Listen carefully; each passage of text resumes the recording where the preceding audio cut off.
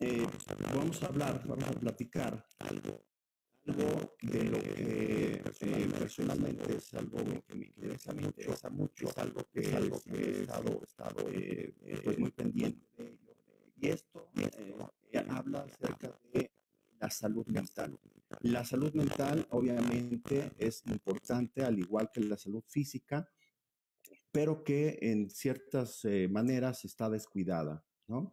Y la salud mental es obviamente un área importante en nuestras vidas como, como seres humanos y esta está, eh, a mi parecer, pues mal trabajada, ¿no? Ahora vamos a hacer específicamente desde la salud mental hacia los deportistas. Eh, es importante siempre saber si el deportista goza de una buena salud mental no solamente derivado de la práctica misma del deporte, de lo que puede causar el deporte, sino también durante este confinamiento. A veces tenemos la idea que los deportistas, simplemente por ser deportistas, tienen eh, mayor capacidad de, de enfrentar algunos tipos de problemas mentales. Y hoy pues trataremos, ¿no? Así tal cual, trataremos de responder a esa pregunta. Para eso eh, me voy a permitir eh, compartirles una presentación acerca de eh, este tema que nos, que nos por lo que nos trae el día de hoy. Bien, primero, pues obviamente vamos a definir y vamos a hablar acerca de qué es la salud mental, ¿no? Eh, podemos tener ahora en, este, en este tiempo, hemos hablado mucho acerca de la salud mental y puede ser que tengamos una idea de lo que sea la salud mental. Vamos a definirla según la Organización Mundial de la Salud. La salud mental es el bienestar que una persona experimenta como resultado de un buen funcionamiento. Importante esto, cognitivos, afectivos y conductuales. Esto eh, se vuelve muy importante, ¿sí? Cuando alguna de estas áreas en nosotros como seres humanos empieza a distorsionarse, pues obviamente podemos hablar que no hay una buena salud mental y entonces habrá que tratarla, ¿no? Los aspectos cognitivos, los afectos afectivos, perdón, los, eh, los, lo afectivo y lo conductual y en, una última instancia el despliegue óptimo de sus potencialidades. Esto obviamente se vuelve importante porque las potencialidades individuales para la convivencia, el trabajo y la recreación. En cada una de estas esferas, obviamente es importante gozar de buena salud mental y que a su vez podamos eh, expandirla hacia nuestras relaciones, ¿no? Aquí hablamos, por ejemplo, en la convivencia con los otros, el trabajo, el trabajo obviamente que desarrollamos y obviamente en el deporte, ¿no? No es la excepción. El trabajo que podemos ir desarrollando durante eh, nuestra interacción, tanto con nuestros jugadores, con nuestros atletas, ¿no? como con nuestro staff de trabajo, así como con autoridades. Y obviamente la parte de recreación también va a ser muy importante. ¿Qué hacemos en los tiempos libres? ¿Qué hacemos cuando estamos eh, pues en trabajar, ¿no? Por ejemplo. Esa sería otra parte importante, saber si eh, nos gusta estar con nosotros, ¿no? Esto puede resultar incluso un poco raro la frase como tal, pero que sin embargo también si, si, si nos gusta estar con nosotros, ¿no? Bien, ¿cuáles son las estrategias centrales del Programa Mundial de Acción de la Organización Mundial de la Salud? Y esto, pues, eh, en este esquema, ustedes ya lo verán, va en ascenso, ¿no? Desde una parte hasta el, el, esfuerzo que hacen los países hasta llegar a una buena salud mental de la población. Y entonces vamos a partir de aquí, ¿no? Donde la información para adoptar decisiones más adecuadas. Esto querría decir entonces que habrá mayor capacidad de los países eh, tanto para hablar de salud mental, tanto para promover la salud mental, ¿sí? Y entonces eh, adoptar mejor las decisiones más adecuadas. Por lo tanto, entonces, los mejores servicios de salud mental. Eh, esto, esto también se vuelve importante porque pareciera que la salud mental puede esperar, ¿no? Abogacía tendiente a reducir el estigma y la discriminación, que esta es otra parte importante, eh, que se vuelve importante dentro de todo este proceso, ¿no? Al tener menos estigma y discriminación, ¿por qué hablamos de esto? Cuando eh, alguien pueda padecer algún tipo de problema mental, ¿sí? Es víctima de estigma y discriminación. Entonces, ¿qué es lo que tendemos a hacer? Pues tendemos a eh, ocultar el problema que pudiéramos tener en cuanto a la salud mental, ¿no? Y todo esto de salud mental tendrá que ver incluso con eh, ansiedades, con depresiones, con tristezas profundas que no necesariamente tengan que llegar a depresión. Y entonces, las políticas integrales de desarrollo y servicio. En cada uno de los países, obviamente, se tendrá o se tiene eh, o se está haciendo, ¿no? Que estas políticas integrales de desarrollo de servicios sea para mejorar la salud mental de la población. Y entonces, en, tiempos como el que estamos viviendo ahora, ¿no? Eh, la salud mental obviamente se vuelve importante. Vamos a ir eh, bajando toda esta información porque lo que pretendo, como al principio lo dije, es llegar desde un aspecto general hasta llegar a la parte de los deportistas, ¿sí? Entonces, la mayor capacidad de investigación que podamos tener en relación a la salud mental, obviamente va a ser importante para que nosotros podamos aspirar a tener un país más sano. Bien, eh, adentrándonos ya un poco hacia eh, lo que estamos viviendo en este momento, ¿sí? Eh, los eventos críticos de cualquier orden, es decir, desastres, emergencias humanitarias o epidemiológicas, en este momento se pone en riesgo la salud y la vida de la población. Y entonces, ¿cuáles son las respuestas psicológicas, emocionales que podamos tener en relación a esto? Que mucho se ha hablado a partir de marzo, que empezó todo, todo esto de la pandemia, acerca de cuáles serían las reacciones. Y sin embargo, al ser un problema nuevo, pues obviamente es digno de, de investigación y de que ahí también podamos eh, sacar otros aspectos que nos puedan ayudar de una mejor manera hacia la salud mental. Obviamente nos sentimos amenazados a la seguridad y al eh, funcionamiento normal y la comunidad, pues obviamente lo expresamos, ¿no? En más del 80% de las personas con incremento de síntomas que pudieran afectar la salud mental. ¿Cuáles son estos síntomas? la angustia, el miedo, incluso el pánico y el terror. ¿Qué es todo esto durante eh, todo este tiempo de confinamiento en el trabajo que hemos realizado con los eh, deportistas de nuestra universidad? ¿No?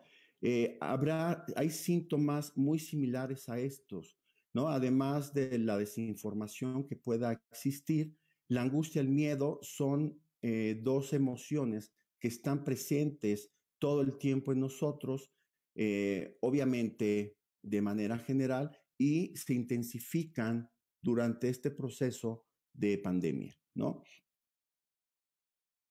Ok. Estas crisis epidemiológicas, perdón, se incrementa el riesgo de problemas de salud mental, como ya lo dijimos, ¿no?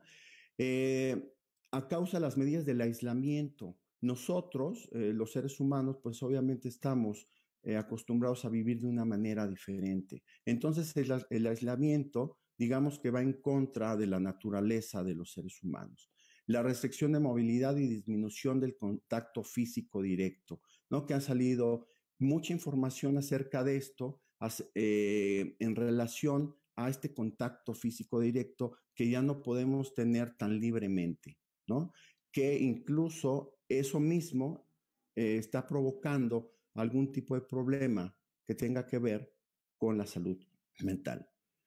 Ok, las personas que pasan tiempo en aislamiento pueden eh, mostrar síntomas de depresión grave y síntomas relacionados con el estrés postraumático hasta tres años después. ¿Qué quiero decir con todo esto entonces? No, eh, no hablar como un eh, panorama pesimista hacia lo que va a regresar, lo que nos espera después de, bueno, de, la, de la vida post pandemia, ¿no? Sino que qué hacer ahora y cómo detectar estos signos de depresión y de ansiedad, ¿no? Eh, una pregunta que yo me he hecho durante todo este tiempo es saber si los deportistas, como un universo, eh, pues diferente de cierta manera a la población sedentaria, saber si ellos podrían saltear estos eh, síntomas, esta sintomatología diferente a la población que no practica deporte. Y entonces, durante estos meses he encontrado en esta práctica con, con deportistas que si hay algún tipo de problema que no está detectado, porque además no somos desafortunadamente tan conscientes de eh, poder identificar algún tipo de problema relacionado con la depresión o la ansiedad, ¿no? Que implica, obviamente, el no tener contacto con algún otro ser humano, pero además de no realizar la actividad a la que estoy acostumbrado, ¿no? Y, esta actividad a la que estoy acostumbrado tiene que ver también con, eh, obviamente, la socialización, pero además del ejercicio de la carga de entrenamiento de la que estoy sujeto diariamente. Y entonces eso hace que mi cuerpo sea diferente, obviamente también mi psiquis, ¿no? Y entonces cuando vemos toda esta parte, saber si el deportista con fortaleza mental podrá saltear, podrá pasar de una mejor manera todo este, este confinamiento, ¿no? todos los efectos que platicamos de una manera eh, pues general, ¿no? Hablamos de la separación de los seres queridos. Entonces estamos haciendo reuniones a través de Zoom. Esto, por ejemplo, obedece también de cierta manera a lo que estamos viviendo, esta, esta charla que estamos teniendo el día de hoy, y la separación de los seres queridos, ¿no? De ya no ver a los primos, a los abuelos, en, en, en, algunos eh, casos, a los padres, ¿no? Entonces, este aislamiento también nos puede eh, afectar en ese aspecto. La pérdida de, la libertad, como ya lo dijimos, no poder salir exactamente a donde nosotros queremos. La incertidumbre y el aburrimiento. La incertidumbre de no saber exactamente cuándo va a terminar. Podemos tener una idea, ¿no? De, de más o menos cuándo terminará esto. Sin embargo, no es exactamente, no sabemos exactamente el momento en donde vaya a terminar, ¿no? Y obviamente el aburrimiento de estar en casa, de estar en algún tipo de cuadro y tener que adaptarnos a lo que tenemos en este momento, que es otra parte importante, la adaptación. Las conductas de evitación y de confusión. Y estas conductas, por ejemplo, que también pueden ser, como un comentario aparte, estas conductas también derivadas de la práctica diaria de, eh, del deporte, ¿no? Y estas conductas de evitación que también pueden estar presentes durante todo este, esto que estamos viviendo. De frustración y de enojo, incluidos síntomas de estrés postraumático que podrían escalar hasta el suicidio. Obviamente, en, esto, en este punto en particular, estamos hablando de situaciones extremas, ¿no? En una situación extrema de llegar al suicidio, pero que sin embargo, con todo lo que está sucediendo, te lo vamos a ver un poco más adelante, saber cuáles serían todas estas, eh, eh, toda esta sintomatología, todos estos problemas que atravesamos que pueden llevar hasta ahí. Y además de estadísticamente lo que se ha incrementado ah, durante todo este confinamiento. ¿no? Y entonces, en algunos investigadores eh, han sugerido que a mayor duración de la cuarentena se, perdón, se intensifican los temores, mismos que pueden provocar efectos negativos duraderos. Entonces, hasta hace cinco años, estamos hablando en 2015, eh, podíamos, eh, nos decían, ¿no? Como pronóstico, que la depresión iba a ser uno de los problemas o el problema más grave de salud mental en el 2020. Y en el 2020 ya estamos aquí, en el 2020, y además con el problema de la pandemia.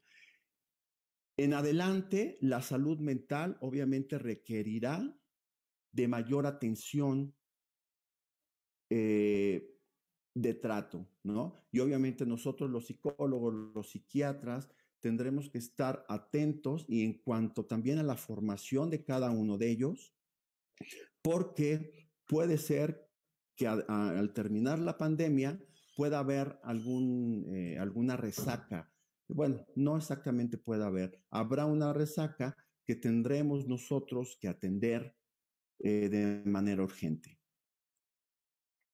Bien, ¿cuáles son las reacciones psicológicas que seguramente todos quienes nos acompañan en esta mañana hemos tenido en por lo menos alguna vez en la vida y que sin, eh, puede ser también que en estos momentos de pandemia eh, se nos hayan eh, agudizado, ¿no? Según Walter Cannon, que era un fisiólogo estadounidense, y su teoría de las tres Fs, que es en inglés, flight, fight y freeze.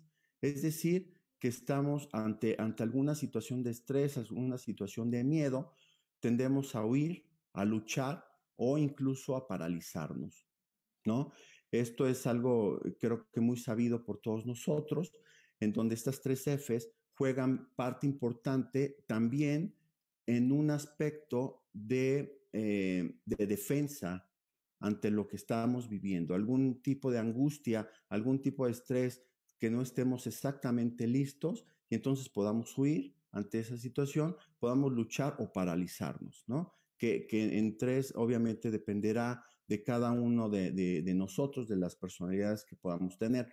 Y entonces aquí nuevamente me enlazo a la parte de los deportistas, ¿no? Y los deportistas generalmente están eh, dispuestos que ante algún tipo de adversidad, luchar, ¿no? Vamos, eh, la competición eh, no va tan, tan, eh, tan bien como yo quisiera, entonces tengo que luchar, esforzarme un poco más para enfrentarlo. Y obviamente todos esos resultados pueden causar algún tipo de estrés, ¿no? El segundo punto, el procesamiento de información en contextos de alto estrés se, se torna muy simple y básico, el sistema de memoria falla y la capacidad de razonamiento se ve ligada a la sobrevivencia. Entonces, Hace rato hablábamos eh, la primera definición sobre la salud mental, la parte cognitiva, ¿no? Y entonces el sistema de memoria falla, la capacidad de razonamiento. Entonces, todos los efectos que pueda haber, que de repente se me olvida hacer algún tipo de cosa, que eh, se me olvidó lavar, se me olvidó eh, hacer algún reporte que tenía, todo eso también puede ser causado por el tiempo que estamos viviendo. Y eh, una parte también importante como mensaje, que también es normal experimentar ansiedad, tensión, inseguridad, vigilancia obsesiva de los síntomas de la enfermedad. Entonces, como decía hace un rato, eh, nos hemos enfrentado con muchas noticias falsas eh, durante todo este tiempo de cuarentena, ¿no? Y en estas noticias falsas, al hacerles más caso, obviamente nosotros vamos a, tener inseguridad, ¿no? Esta vigilancia obsesiva de lo que está pasando, si ya acaba, entonces eh, reviso eh, qué está pasando en, otros países y reviso qué está pasando en mi colonia y si usamos el, tapabocas y si no lo usamos y entonces se está propagando más de una manera y entonces lo ampliamos más y, y tiende a que la angustia crezca, ¿no? Que se pueda representar obviamente en eso pero que eh, posteriormente en algún tipo de trastorno ansioso. Bien, voy, a hacer aquí una pausa para revisar eh, los comentarios, sus comentarios, si, hubiera algún tipo de pregunta. Eh,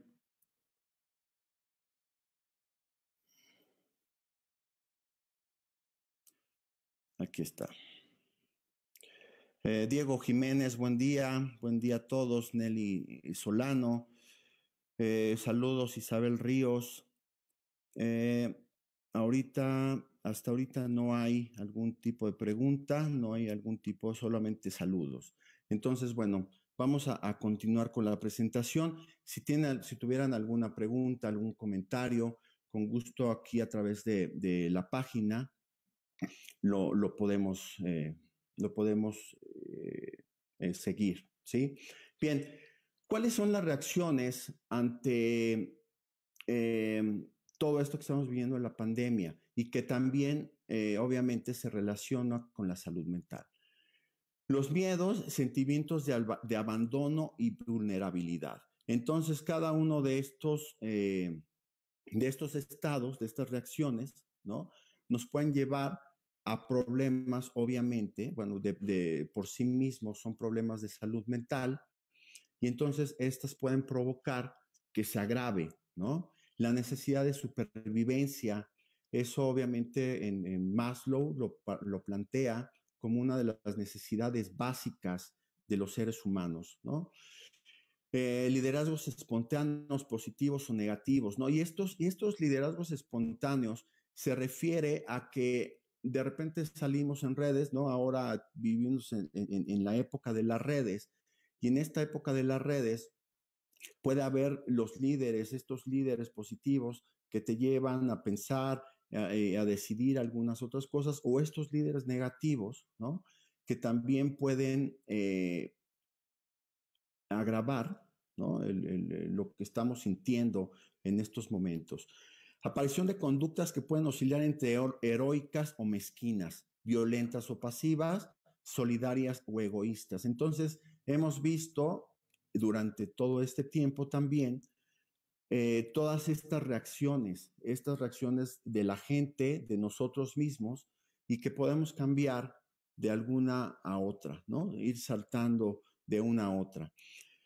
Y bueno, también como ya lo dije, ansiedad, depresión, duelos.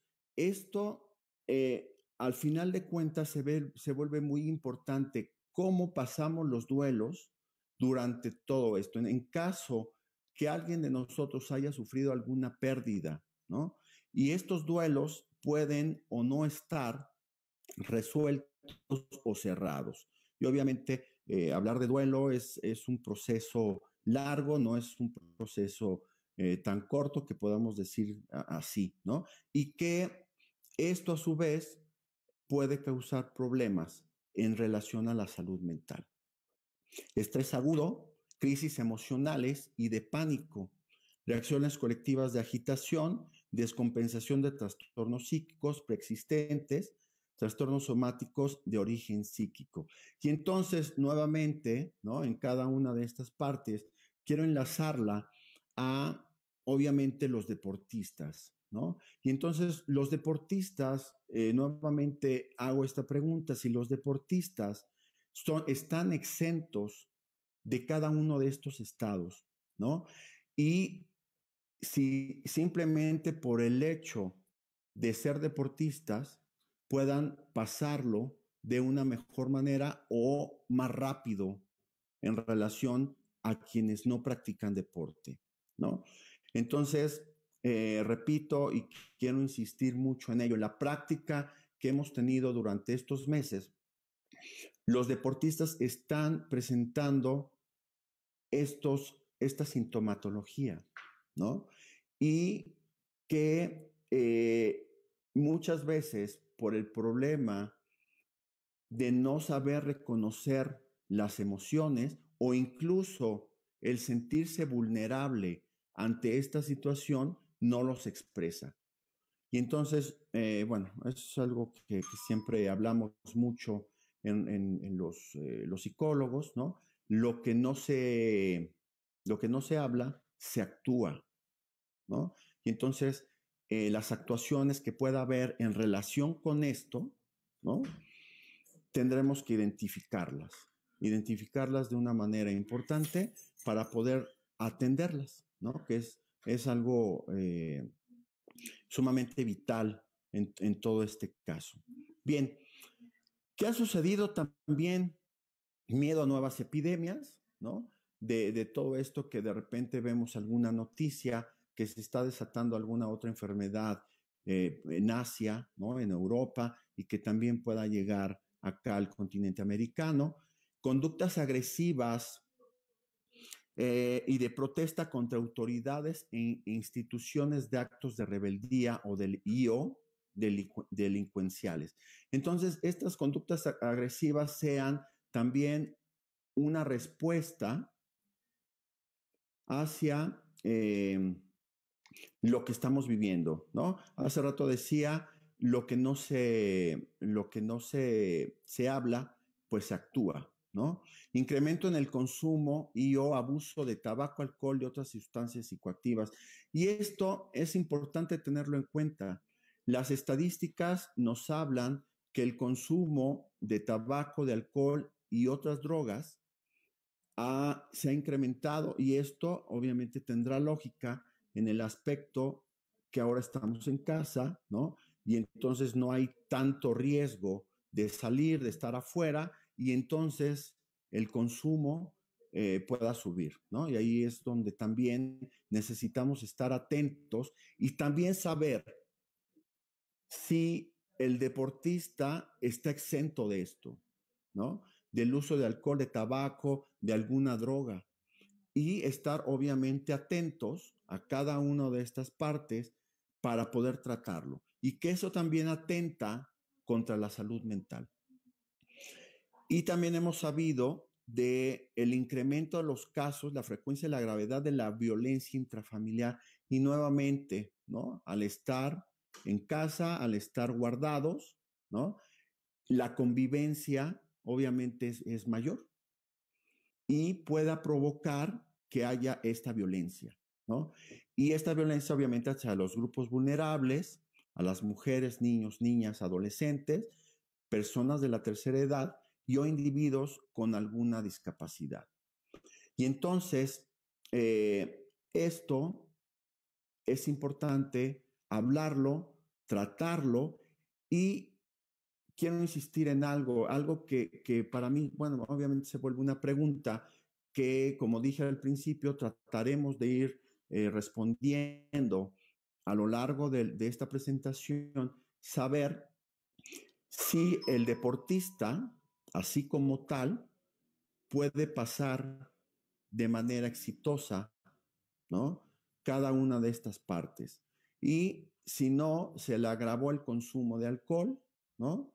Se le agravó el consumo de tabaco y obviamente esperando, ¿no? Que no haya ningún problema en algún eh, abuso de sustancias psicoactivas.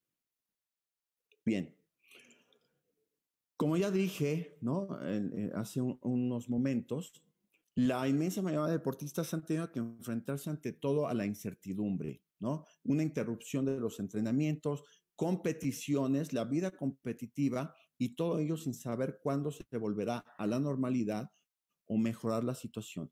Entonces, eh, aquí los deportistas no sabemos exactamente cuándo vayamos a volver a competir. Los Juegos Olímpicos del 2021 están pues ya listos, ¿no? Eh, en teoría vamos a tener Juegos Olímpicos en el 2021. Y entonces vamos bajando hasta llegar al deporte universitario y saber si el deporte universitario está listo para regresar a las competiciones. Eso es otra parte importante y que además, aunado a todo lo que ya platicamos, eh, ¿qué sucede con el deportista en cuanto a su salud mental y el trabajo con la incertidumbre? Es decir, estoy entrenando desde casa, estoy, ahí vemos en la fotografía, ¿no? Como eh, todos nuestros deportistas han ingeniado para poder modelar todo lo que trabajaban en el campo, ¿no? A llevarlo a casa. Y entonces, esta misma angustia que puede causar el no saber y el trabajo con la incertidumbre puede afectar en la relación, eh, perdón, en relación con la salud mental.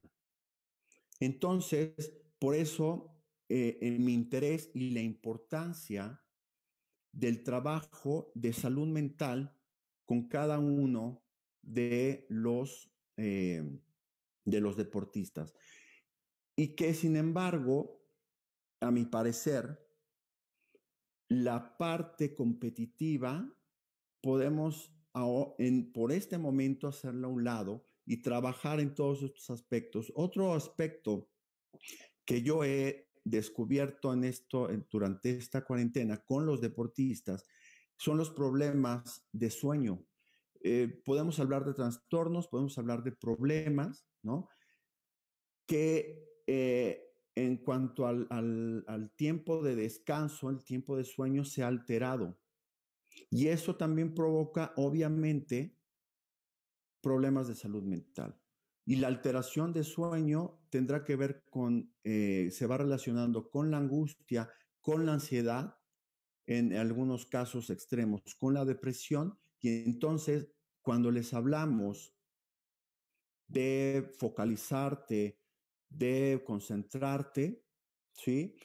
Eso, obviamente, como ellos ya lo tienen, lo pueden seguir usando, pero que sin embargo, esta otra parte que atenta contra la salud mental es la que necesitamos tener bien trabajada, ¿no? Y esa es exactamente la propuesta.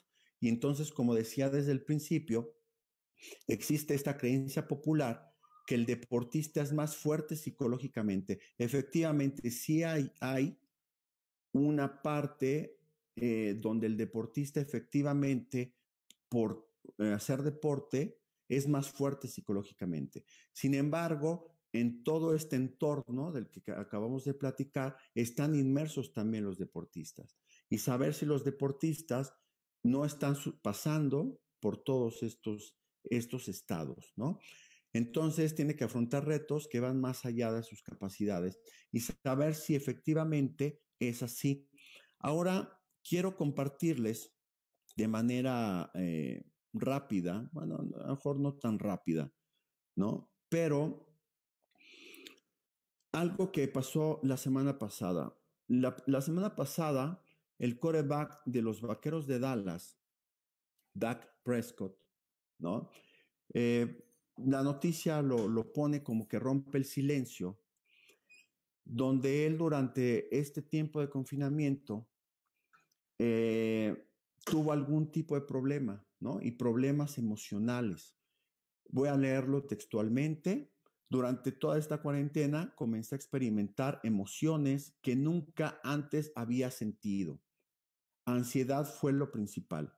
Dijo, y luego, honestamente, un par de días antes de la muerte de mi hermano, obviamente él vivió una pérdida, comencé a experimentar depresión. Entonces ahí, obviamente, él, lo habla, lo dice, ¿no? No sabía necesariamente por lo que estaba pasando, por decirlo menos, y no había estado durmiendo en lo absoluto.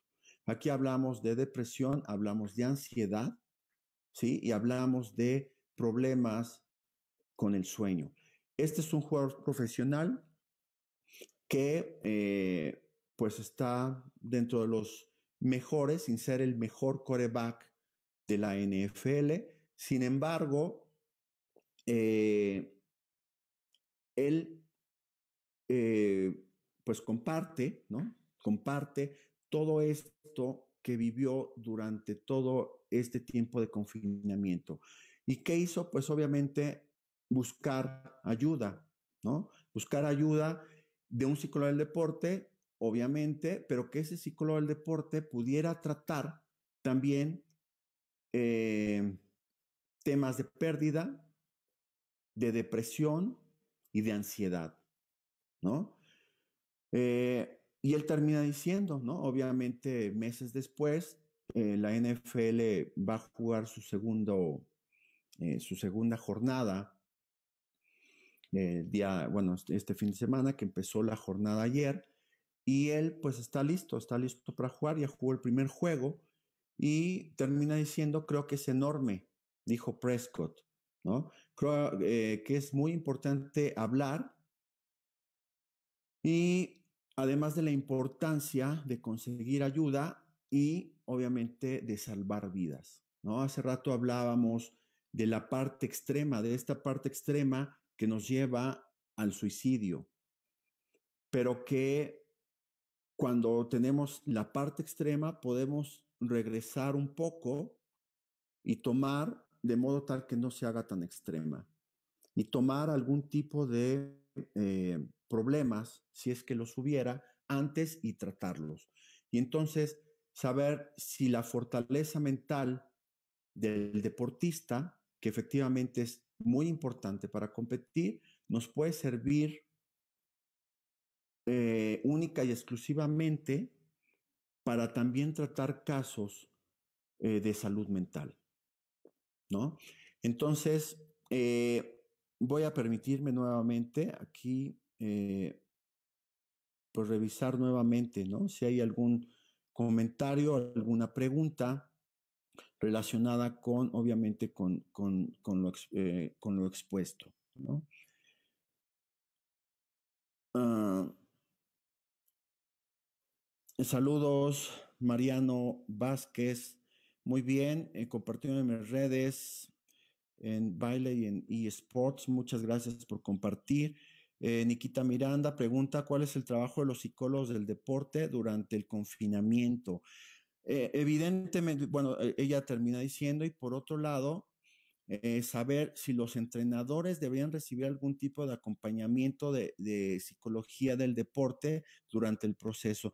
Sí, efectivamente, eh, el trabajo del psicólogo del deporte durante este confinamiento, pues obviamente es estar cerca. Aquí es donde eh, el trabajo mental, que siempre está inmerso en el entrenamiento deportivo, se debe de intensificar. el, el el, el, psicólogo del deporte en este caso tiene que estar cerca de, los deportistas, sobre todo vigilando todos estos aspectos, ¿no? Eh, viendo si hay algún tipo de problema que se puede agravar y llegar a algún eh, problema extremo, ¿sí? Y además el trabajo con los, con los entrenadores es vital. Hay que estar cerca del entrenador, hay que estar... Eh, en, contacto directo con ellos, porque además, ahorita hablamos de los deportistas, eh, bueno, me, referí exactamente a los deportistas, pero que sin embargo el entrenador también puede estar pasando por todo esto, porque él también está inmerso en todo este trabajo y además poder trabajar con ellos en lo pues, que le llamamos ahora los primeros auxilios psicológicos, porque los primeros auxilios psicológicos no necesariamente los tuviera que dar un psicólogo, ¿no? También los puede dar algún eh, tipo de persona que no tenga la formación de psicólogo. Gracias por tu pregunta, Nikita Miranda. Felipe Guadarrama, saludos, buena exposición. Necesario conocer más. Efectivamente, hay que conocer más acerca de todos estos, eh, estos temas, ¿no? Que eh, pareciera que son exclusivos de quienes nos dedicamos a la salud mental, pero que sin embargo habría que abrirlos un poco más. Entrenamiento mental, saludos César, muchas gracias, saludos. Olivia eh, Subliaga, gracias, gracias por, por mirarnos. Alejandro López, saludos, enriqueciendo este campo de la psicología deportiva, saludos Alejandro López. Jessica Herrera Chávez, eh, Janet, eh, eh, bueno, ahí etiqueta a otra persona. Y saludos a Carla Abel.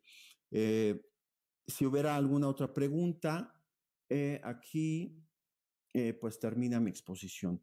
Quiero agradecer a la dirección del deporte universitario ya por, por, el espacio, obviamente a, quienes nos dedicamos al, a la a la intervención en psicología del deporte dentro de la Universidad Nacional Autónoma de México, así como también eh, al Centro de, Estudios del Deporte, eh, con, toda esta información del trabajo académico que, tenemos dentro de la dirección del deporte universitario. Ahí está mi contacto, cesar.belmonte arroba para cualquier eh, duda, cualquier aclaración, cualquier comentario, eh, cualquier ayuda que pudieran ustedes necesitar. Eh, para mí siempre es un gusto poder ayudarlos. pues les agradezco mucho su atención, como siempre lo hago, y pues nos veremos en una cápsula pronto. Muchas gracias.